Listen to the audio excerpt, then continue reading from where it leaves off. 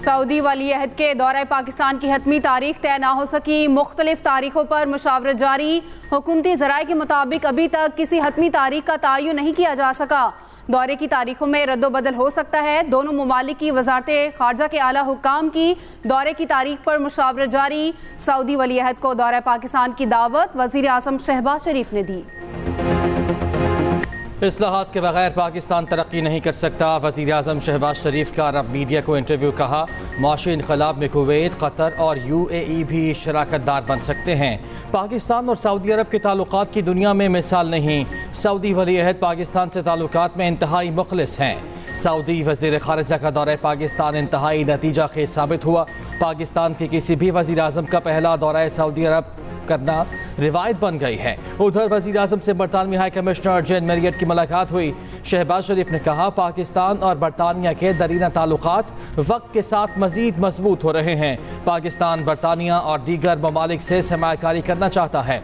बरतानवी वफ ने हुकूमत पाकिस्तान की एजुकेशन एमरजेंसी के इकदाम को सराहा। मुलाकात में नायब वजी अजम और वजी खारजा इसहाक डार भी मौजूद थे।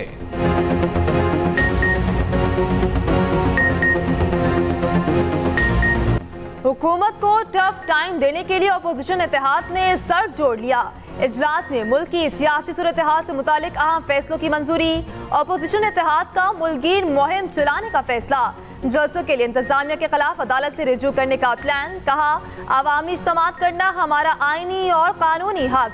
जलसे हर सूरत किए जाएँगे। तहरीक आइन की बहाली तक जारी रहेगी। लाहौर में वकला पर तशद और गिरफ्तारियों की मजम्मत किसानों के मुतालबात के हक में साथ खड़े होने का ऐलान। इजलास में अपोजिशन लीडर उमर अयूब, साहबजादा हामिद रजा और महमूद खान अचक सई की शिरकत।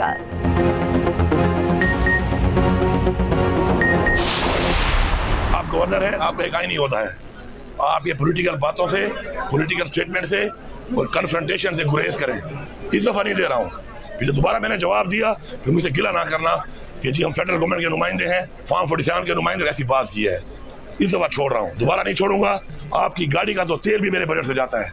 आपकी गाड़ी का तेल तक नहीं होगा फिर। और एक गवर्नर हाउस भी जो है ना, आपकी मलकियत नहीं है।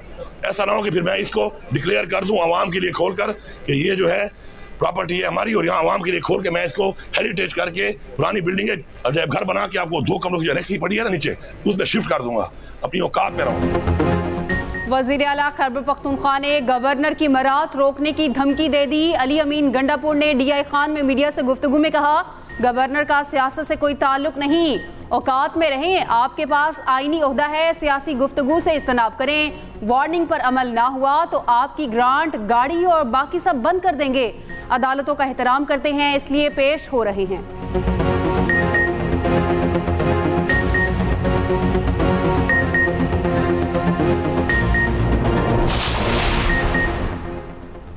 गैर जिम्मेदाराना बयान शेर अफजल मरवत के गले पड़ गए। पार्टी पॉलिसी की खिलाफ वर्जी पर पी टी आई ने शो कॉज नोटिस जारी कर दिया। तीन दिन में तहरीरी वजाहत मांग ली, वरना कार्रवाई की जाएगी। इतमान बख्श जवाब ना मिला तो पार्टी एक्शन लेगी। नोटिस के मतन में लिखा, शेर अफजल मरवत के बयान से पार्टी की साख को नुकसान पहुँचा। बयान से पार्टी मेंबर्स और स्टेक होल्डर्स के दरमियान ताल्लुक खराब हुए। सेक्रेटरी जनरल उमर अयूब की जानब से नोटिस जारी किया गया।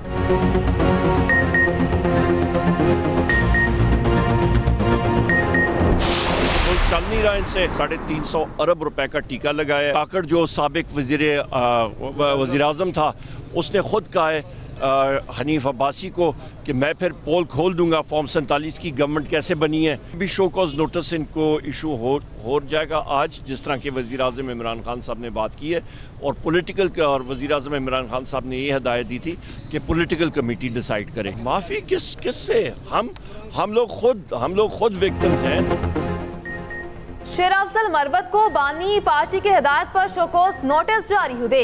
शोकोस के बाद पार्टी की सियासी कमेटी फैसला करेगी। अपोजिशन लीडर उमर अयूब ने अंदर की कहानी बता दी। मीडिया से गुफ्तगु में कहा, हुक्मरानों से मुल्क नहीं चल रहा। गंदुम में बड़ा टीका लगाया गया। अनवर काकड़ ने फॉर्म सैतालीस की बात की पटिशन दायर कर रहे। जमात इस्लामी से अभी बातचीत चल रही। उम्मीद है नए अमीर अपोजिशन इतिहाद का साथ देंगे। शरीफ के अंदर जो है डेफिनेटली मुजाकर बेहतर हो सकते हैं, क्योंकि वो ज़ाहिर है कि असल जो सियासत है, दूर लेकी वो तो नवाज़ शरीफ के पास है। शहबाज शरीफ के पास तो कुछ भी नहीं है ना।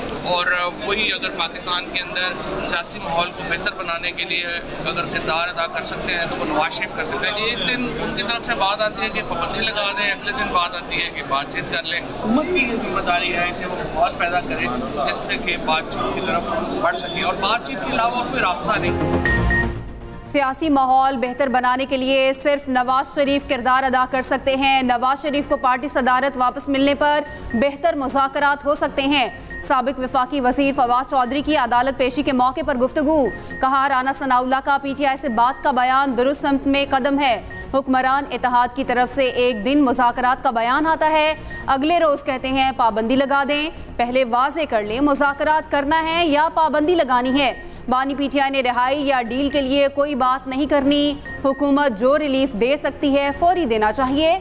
सियासी जमातें बातचीत नहीं करेंगी तो क्या करेंगी?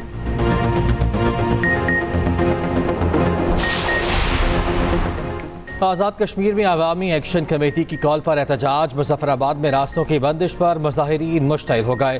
तांगा स्टैंड और अज़ीज़ चौक पर पुलिस का मुजाहरीन से तसादम मुजाहरीन का पथराव, कांच की बोतलें फेंकी गईं। अहलकारों ने आँसू गैस के शल फायर किए। कोटली को पूंछ से मिलाने वाली मेन शारा तत्ता पुल से बंद कर दी गई। ज़िले इंतजामिया ने शहर में दफ़ा एक सौ चवालीस नाफेज कर दी। पुलिस का कहना है कि एहतजाज की आड़ में किसी को भी कानून हाथ में लेने की इजाज़त नहीं दी जाएगी।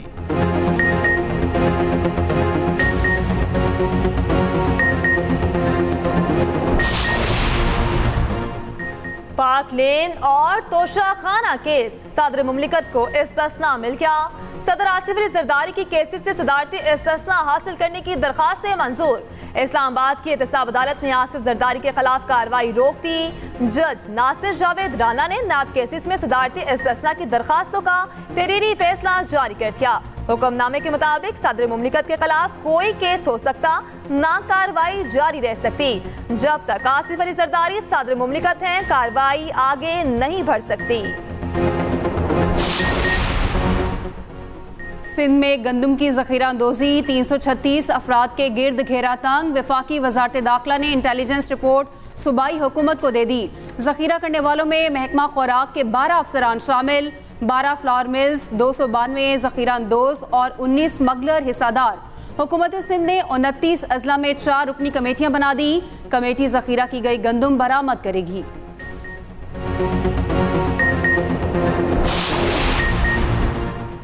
पास्को गंदम की खरीदारी कर रही है। हदफ पूरा करने के लिए एक एक दाना खरीदा जाएगा। विफाकी वज़ीर सनत व पैदावार, राना तनवीर का दावा। न्यूज़ कॉन्फ्रेंस में कहा बारदाना की फरहमी और गंदम की खरीदारी शफाफ बनाई जा रही है। एक एकड़ वाले किसान को आठ बोरी बारदाना मिलेगा। बारदाने के लिए ऑनलाइन रजिस्ट्रेशन शुरू कर दी। हमारे पास अट्ठासी हज़ार दरखास्तें आई हैं।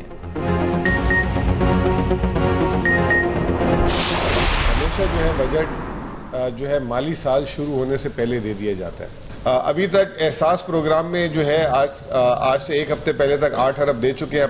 पहली तारीख को हम मजीद दो अरब देंगे। तो दस अरब रुपए जो है हम सेहत कार्ड में दे चुके हुए हैं। हम फेडरल गवर्नमेंट को कहीं से भी एम्बेरस नहीं करना चाहते। केपी ने कितना अच्छा किया और पंजाब और सिंध ने क्या क्या कारनामे दिखा रहे हैं। हालाँकि उनकी हुकूमत है, उनको क्या करना चाहिए? सियासी उतार चढ़ाव के बायस बजट ताखीर का शिकार हुआ अब तक 10 अरब रुपए सेहत कार्ड के लिए फराहम कर चुके हैं। मुशीर खजाना कभी पख्तुखा मुजम्मिल असलम की न्यूज़ कॉन्फ्रेंस। नेगरा हुकूमत के बजट पास करने पर एतराजात सामने आए। नेगरा हुकूमत ने कोई गलत इकदाम किया तो वो खुद जवाब दे होगी। सूबाई हुकूमत के जाने के बाद नब्बे रोज में इलेक्शन नहीं करवाए गए। वज़ीर अला का मौकफ था, सूबे के मुआशी हालात ठीक करने हैं। पार्लिमानी पार्टी में एतराज़ आया नेगरा हुकूमत का बजट क्यों पास करें? रेड लाइन बीआरटी पर तमाम मसाइल फौरी हल किए जाएँ। मजीद तखीर बर्दाश्त नहीं। निगरान हुकूमत की अदम दिलचस्पी से मनसूबे पर काम कई माह बंद रहा। सिंध के सीनियर वज़ीर शर्जील नाम मेमन की जेर सदारत। Red line B R T मनसूबे पर इजलास। कहा, सदर आसिफ अली जरदारी और वज़ीर अला सिंध मनसूबे की जल्द तकमील चाहते हैं। निगरान हुकूमत में इतने बड़े अवामी मनसूबे पर कोई तवज्जो नहीं दी गई। चाहते हैं मनसूबा अठारह माह के अंदर मुकम्मल हो जाए। आवाम जल्द इससे मुस्तफ़ हूँ।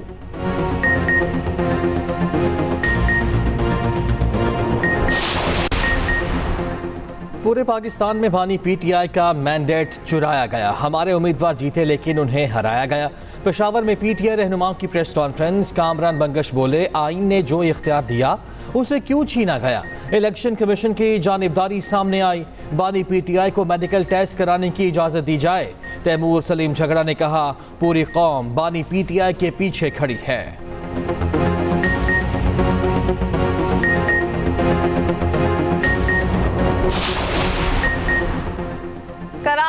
मैट्रिक इम्तिहान पर्चा लीक होने की रवायत बरकरार नौवीं जमात का फिजिक्स का पर्चा शुरू होने से कबल सोशल मीडिया की जीनत बन गया इंतजामिया नकल माफिया के आके बेबस व्हाट्सएप ग्रुपों में हल शुदा पर्चा जारी उधर मलीन में तालिबात के फर्श पर बैठकर इम्तिहान देने का वाक्य वज़ीर बरए boards and universities Mohammad Ali Malkani ने नोटिस ले लिया नाजिम इम्तिहान को शोकोस नोटिस जारी तीन रोज में जवाब तलब चौथे रोज नकल करने वाले एक उम्मीदवारों के खिलाफ एक्शन वज़ीर अला पंजाब से मारूफ इदारे ए टी स्केल के वक्त की मुलाकात। स्कूलों में इंटरनेट सर्विसेज़ और दीगर उमूर पर तबादला ख्याल। बच्चों में गजाई ज़रूरियात पूरी करने के लिए इकदाम पर गौर। मरियम नवाज़ ने कहा, पंजाब में ऑटिज्म के शिकार बच्चों के लिए पहला सरकारी स्कूल लाहौर में कायम किया जाएगा। आवाम की खिदमत के लिए रिवायती तरीके से हट कर काम करना चाहती हूँ। उधर, वज़ीर अला ने सात लाख तलबा को एनक और हियरिंग एड फराहम करने की मंजूरी दे दी। स्कूलों में तलबा की स्क्रीनिंग करके नज़र और क़वत समात चेक की जाएगी।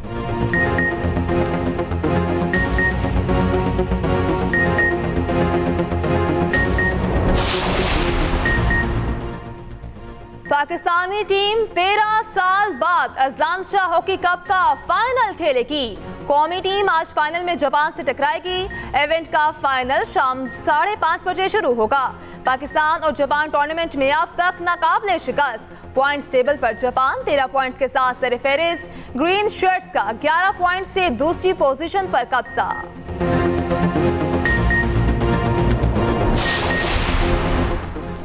अकवा मुतहदा की जनरल असम्बली ने फ़लस्तीन को मुकम्मल रुकन बनाने की करारदाद मंजूर कर ली।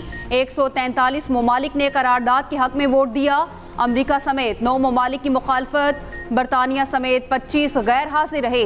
सलामती काउंसिल को फ़लस्तीन को आज़ाद रियासत करार देने की सिफारिश।